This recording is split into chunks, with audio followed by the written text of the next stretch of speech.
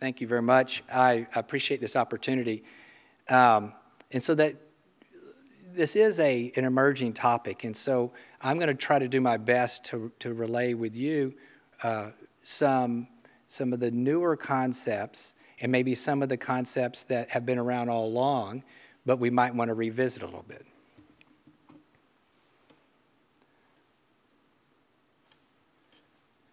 So times have changed, and we, we all can, can reminisce about what life was like even in our own childhood. We can certainly look back in history and say how human beings have changed with regards to physical activity. And when I say physical activity today in my talk, I'm going to use it generally. It's a large umbrella. It's, it's, it's literally bodily movement that utilizes skeletal muscle.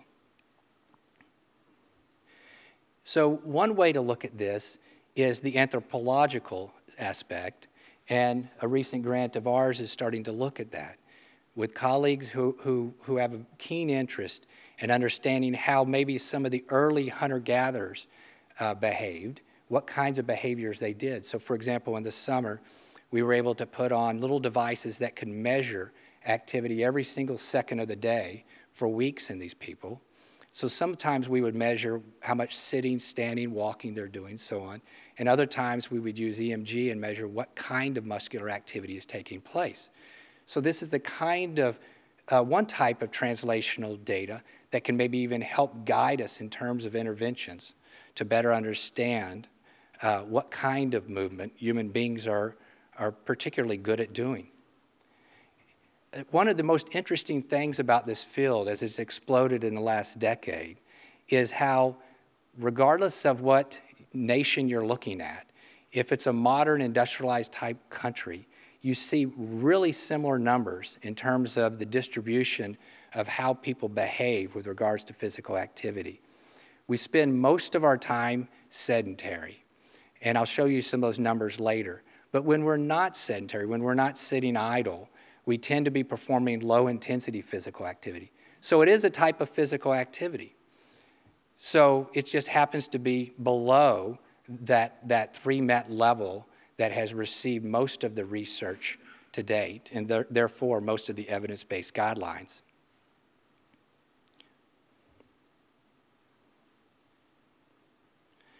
So, one of the underlying premises that I have is that cells and tissues in the body are constantly sensing their environment. They have to. And what they're sensing is very specific to what the environment is saying to it. And so that's a, that's a very simplistic way of putting it. But you could think in terms of any type of cellular response that you might happen to study on your own. And you have to say, what is the stimulus? And oftentimes in this field, people are, are, are very energetic and very engaged in saying, let's roll out some interventions. But oftentimes we tend to maybe not think, just because we don't have enough data at this point, to say, what are the specific stimuli that the body is sensing when you're sitting here for an hour to listen to a talk? Conversely, what would be the stimuli when you get up and you walk out of here? Things are happening. And at the cellular level, the cells that are involved in this, for example, in some of your leg muscles, the, the change is not subtle. At the cellular level, the change is quite profound. And so, if we, if we take that point and we combine it with the point of how people behave, then we can really start to understand what human beings perhaps need with regards to good health. So this is data where we've measured with a device called an activPAL. It's a, it's a little miniature electronic device that you can tape to the front of the thigh. And it measures posture. It measures whether your leg is, is inclined or, or, or flat. And then can also, of course, measure stepping and movement. So it's a very accurate way of, of measuring those simple type of behaviors. And that I want you to notice the numbers here. To be quantitative is very important. This is simply just an observation of a, of a cohort of people, it's about 100 women. And we've now done this in, in many hundreds of people of all ages. And we can measure how much time people spend sitting inactive versus how much time they spend doing other behaviors. And notice that the, the quartile range between the first and the fourth quartile is about four hours a day or 29 hours a week. That's an enormous amount of time, and I would submit it's an enormous stimulus for the type of muscle fibers that are involved in doing that. And for the type of blood vessels that are feeding those muscle fibers, and for the type of substrates that are being utilized by those muscle fibers, and also other type of systemic responses that help that. So this is a very large stimulus. I think that oftentimes reporters and, and some folks lose sight of this. They, they tend to view this as a stepping stone to real exercise. And I would argue that if you look at the cellular level, it's nothing, uh, it's, it's not a stepping stone. It's actually quite a large stimulus in terms of the dosage.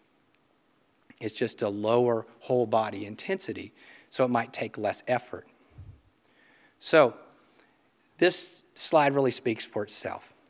30 minutes really is a small fraction of the day. So the specificity principle is just simply that the unique signals that might harm the body during physical inactivity are specific and distinct from the processes that the current guidelines and prescriptions tell us to do. So let's, let's unpack this just a little bit more, and we're going to talk first about how different types of muscle respond. Those of you who study animal models, when you take out muscles, you probably pay, pay very great attention to what muscles you're sampling because you know that some muscles will respond to your treatment, whether it's pharmacological, nutritional, or exercise, and other types of muscles won't respond. In fact, sometimes you can even get opposite type of responses. So we also know that the phenotype and the underlying proteins that make up the phenotypic responses to tissues are very different between different muscle types. Human beings also have diverse fiber types, and I think that that's an important point for understanding how this low intensity physical activity, or LIPA, can contribute both distinct signals but also some potent signals for, for affecting health. And so one of the underlying uh, principles that we all understand from a variety of techniques, including uh, single cell EMG and, and fiber type depletion and so on, is that during low intensity contractile activity, or that what we might call low effort contractile activity, you're going to recruit a small fraction of the total muscle fibers. Some muscles are recruited more than others, especially depending upon the task. But when you do that, the fibers that are recruited are, are working at a very high intensity. It's, it's not quite an all or none type phenomenon like in some excitable cell types, but it's very close to that.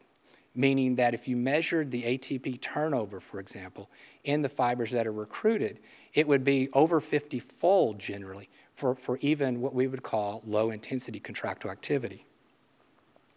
And that type of muscle is also fatigue resistant. It's, it's unique in, in a variety of properties, including some of the biochemical properties that are important for metabolic health. And I'll show you some of that data. So going back to the big picture, we can, we can start to ask some, some practical questions in the last decade, such as, are exercisers actually less sedentary? And that sounds a little bit odd to ask, but when we think about the total day, how much does that 30 minutes or 60 minutes of exercise that is recommended for good health, even if we do it, how much is that changing our total portfolio of sedentary time? So this is an example of one such study, and there's now been several others. Um, this data is not showing the EMG data, but rather it's just showing the sitting, standing, and walking type behaviors. So even folks who engage in 300 minutes per week of moderate to vigorous physical activity, that's still a small amount of the total time in the day and not enough to, to impact the total sedentary time. There's a number of studies that are starting to look at, just like with exercise, what kinds of, of interplay we have between exercise and large amounts of light activity. And so these are the types of, of signals one might see with EMG if you put a, uh, uh, on the proper muscle, for example, a postural muscle such as the soleus in the calf of a human, you'd see that, that there is some contractile activity almost every time we're up on our feet. And of course, it will be stronger when we walk. But that one thing is consistent is that when we're inactive, the signals go silent. So you can imagine now when we talk about, well, what are, what are the underlying signals that are leading to adaptive changes or perhaps to acute metabolic changes? You can start to see that there's this on-off type switch to controlling uh, both the, some of the, the, the, signals such as calcium fluxes, uh, other ionic changes, certainly ATP turnover and metabolic changes. These can be very abrupt and large changes when we take a break from either sitting or from up moving around. So th this data now is backing up another step further, and it's showing you in about 350 people the distribution of how different individuals behave. So, so notice the, the widespread here in these histograms. The, the mean, or, the, or I should say the median time in this particular group was about 11 hours a day of sitting time. So that's a lot of time that we might have in inactivity. It's also a lot of opportunity for time for there to be more contractile activity. And you, and you can see that, for example, over the top, just how much time people might be engaged in upright behaviors. And, and you can, again, see a large spread. But they, these numbers aren't small. I mean, even, even five and a half hours a day, that's a lot of time of contractile activity. So you can imagine if you removed substantial amounts of that, what would it do to the body? Well, this is, this is looking at the energetics of it. And so using doubly labeled water, we can, we can uh, categorize how people expend their energy when we combine it with other techniques. And you can see that even if one is engaged in 300 minutes per week of exercise, that's a very important slice of the pie for health. And a lot of the, the important uh, responses to exercise, of course, are independent of calories. But I'm just trying to give you a sense, a gauge, especially since that the current guidelines for uh, two and a half hours of moderate or, or uh, equivalent amounts of vigorous are based around calories. And so I want to give you a sense of, well, how many calories do people expend in this low intensity physical activity range? And that would be the blue slice. So you can imagine that if you cut that slice out of the pie, that's going to be a very large change in, in energy expenditure. And so when we talk about sedentary behavior, we really could rename the whole field if we wanted. We, we, we practically could call it uh, low intensity physical activity or non exercise activity because they really are the, the two opposites. If you sit less or you sit more, you're going to have a change in this uh, seesaw here in terms of how much time we have in physical activity. Again, it may not be the prescribed activity, but nevertheless, it does involve muscles and it does involve bodily movement, which of course is the definition of activity. So, in our society, we've become very sedentary, and we seem to be progressing in that direction. And there are several data sets that are looking at that, um, and it's, it's quite intriguing to see. Uh, one way to look at it is, is look at just, just the demographics of according to age. In our own studies, we're seeing that, for example, and I think others are seeing the same thing, that younger people are not more active when we look at the total portfolio of activity throughout the day. Meaning that we can take folks who are uh, in their 20s and early 30s, healthy and everything else being the same, we see that they, they actually spend about an hour a day more sitting and inactive than do people who are 15 to 20 years older. We also see that teenagers are, tend to be very inactive. So if things are progressing as they do, most technologies tend to be seductive in terms of luring us into looking at screens and to becoming very immobile. The epidemiology of this field is what's really grown the most rapidly in the last decade. And that these, these two studies from Edwardson and Wilmot have, have done a meta-analysis, and we've just reviewed this. And, and I really want to just point out here, notice the, the high durations that we're talking about. With, with, for example, take the TV time studies. They're comparing people in the first row. You can see folks who watch more than 5.7 hours per day versus less than one hour. Large differences in behavior that we're describing. And you can go throughout this. So, when you read in the newspaper or when you read in the introduction of a paper and it says that sedentary behavior is related to, and they might give some measurement of inactivity, and then they might say, and therefore, we're going to de devise an intervention, or therefore, if it's in a magazine, they're going to give some fitness tip. You need to pay attention. If we're going to use evidence based medicine, which is what's guided the MVPA recommendation, in fact, most of those recommendations for MVPA of course, are centered around epidemiological type data. then we have to look at this data closely too. And what it's telling us is that hours per day, not minutes per day, is what seems to be related to type 2 diabetes, metabolic syndrome, and I could show you all cause mortality and so on. So that, uh, that's point one. And that then, uh, secondly, is look at the magnitude of effect we're talking about. So when we pool these studies and get a pooled uh, risk ratio, it's 2.12 fold for diabetes. Okay? That is very large. And by the way, many of these studies did this where they, they did use covariates and they showed it was independent of MVPA, independent of weight, independent of, of classical risk factors. This is very large. This is, this is actually much larger than the relative risk from similar type of analyses for the current recommendation of MVPA. It's, it's much larger than the recommendations for lowering sugar intake are from dietary changes. Nobody's saying that diet's unimportant. Nobody's saying that exercise is unimportant. I'm just saying this is what the meta-analyses are showing. I think what we're seeing then is that there's another aspect of human behavior that we have an opportunity to improve human health. That's good news. So one of the underlying concepts of this whole paradigm is that although regular exercise prescription is rare, too rare, we should all do more of it, but it's also very healthy. Sitting is actually very ubiquitous. We all sit. We have to sit to do your profession, to, to commute, and so on.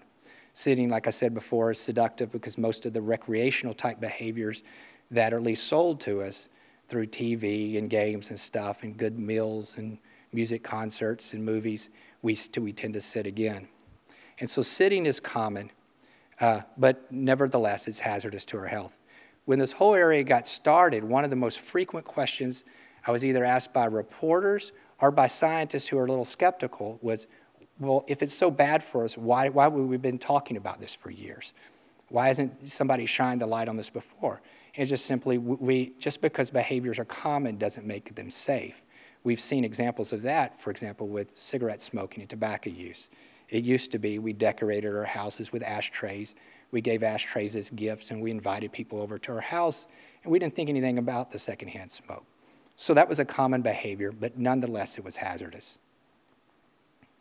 So, and, and another important concept that, that dovetails in with that is that we believe that, that qualitatively there are distinct processes that are responding to this balance of inactivity or generally lower effort type of activities. And sometimes with very high sensitivity to inactivity, meaning that we can see responses within hours, uh, sometimes even less than an hour, that are very marked and are, and are important physiological responses. In some cases, we can show that the processes are not at all impacted by the, the traditional types of exercise. And that might have something to do with the fiber type. It might have something to do with the dose that we're talking about.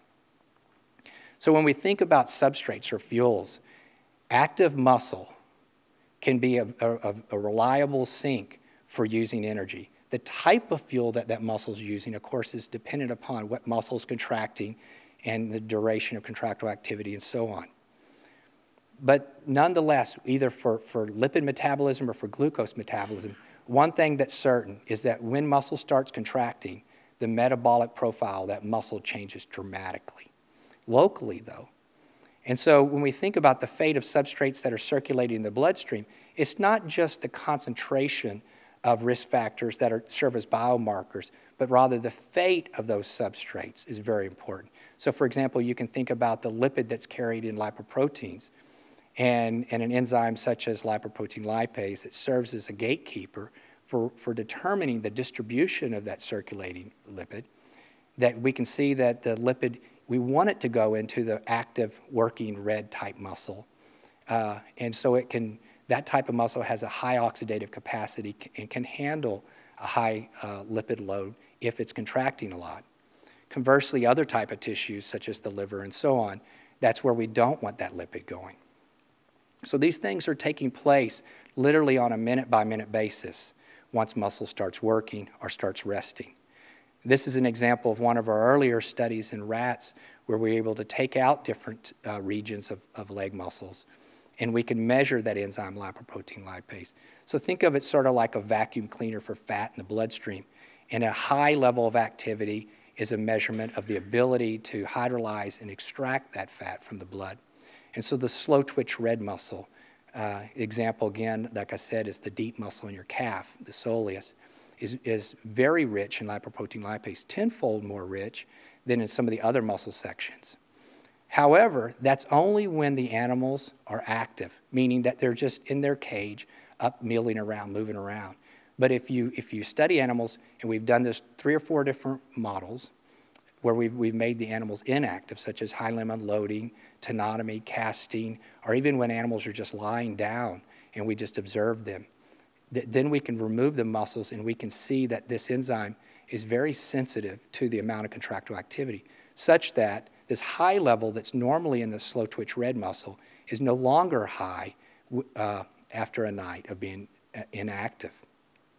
It's a local mechanism as well. And we've also used radioactive tracers to look at the distribution of lipids in the body. It follows that. So you all know what the public health guidelines are, and, you, and they've, they've changed relatively little uh, in the last 10, 15 years. There's been some changes.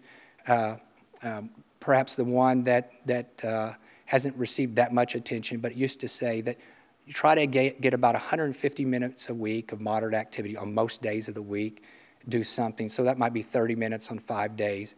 And they've removed that clause about most days of the week.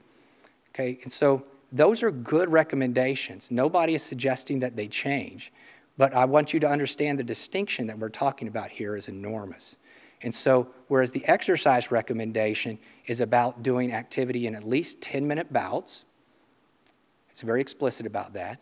At least three METs, it's very explicit about that, that produces a noticeable increase in ventilation or heart rate or sweating for the individual. And then also to, to accumulate a certain amount of calorie equivalents per week. So it's, it's a very clearly defined type of recommendation.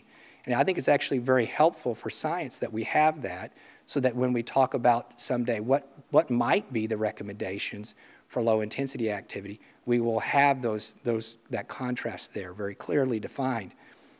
So having said that, one thing that we need to be cautious about is, is a frequent question is, well, how much exercise, real exercise, can I do to overcome the problem of being sedentary?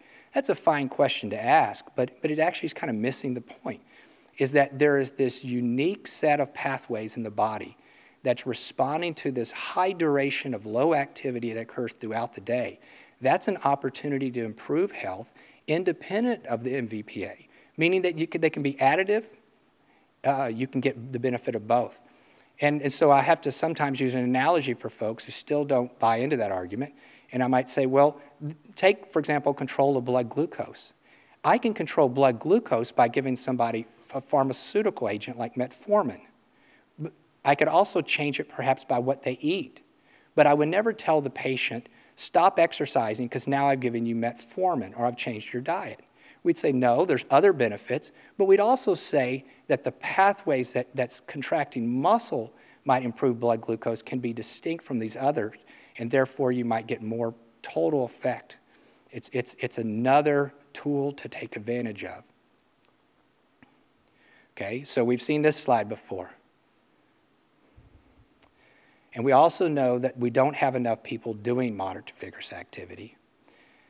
So now I'm going to talk about this question about how there might be some distinct signals. I'm just going to give you one or two examples quickly here. But that uh, one I've already mentioned with lipoprotein lipase. We've taken the exact same strain of, of rats, and we've done this with mice, and now we've done it with people, where we can have individuals exercise on some days, we can have them either sedentary or doing a large amount of low intensity physical activity. There's a variety of ways that we can match it up, either on a calorie basis or what's the recommendation and so on. But one point is that in the animal models, we actually found it very difficult to increase LPL activity except in the fast twitch white muscles. And you can see that's the muscle that normally has low levels. Statistically speaking, it's, it's very significant. It's a two and a half fold increase, but it's starting at a very low level. So we would submit that while that's good for us, and it may actually have some impact on the fate of lipids in our blood, it may actually even lower triglycerides. there's going to probably be other processes, such as what Dr. Gills studied previously, that exercise might be more potent at working through, whereas this other end of the continuum might work more through LPL. We've also now done two different studies with very different types of patient populations where we've tried to raise LPL in humans and we've been unsuccessful at doing that. This particular study with Mike Harrison here in Ireland, we collaborated with him. He provided us with tissue samples and we were unable to see a rise in LPL even when young men did 100 minutes of very vigorous exercise that led to almost, you know, as low of glycogen depletion as you can get. In one trial, he refed the individuals, and one he didn't.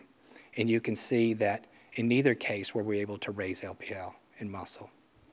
And you could also see that in the same type of people, that the lipoproteins are highly correlated uh, with LPL levels in the muscle in what we called the ambulatory control trial, meaning when they did not exercise.